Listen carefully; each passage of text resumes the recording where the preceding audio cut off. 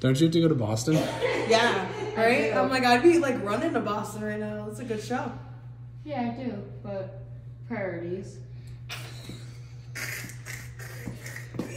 Oh, that one took me out. She said priorities. Is Amber waiting for you? Yeah, she is. I see you later. Amber is waiting for me. Have fun at the show for me. Cause I can't go. I know you can go. I see you next week. Kill it for me. Yeah, dude, we're almost done. Kill We it. got like 10, 20 minutes. Kill it. Wanna? Kill it. Shake your booty.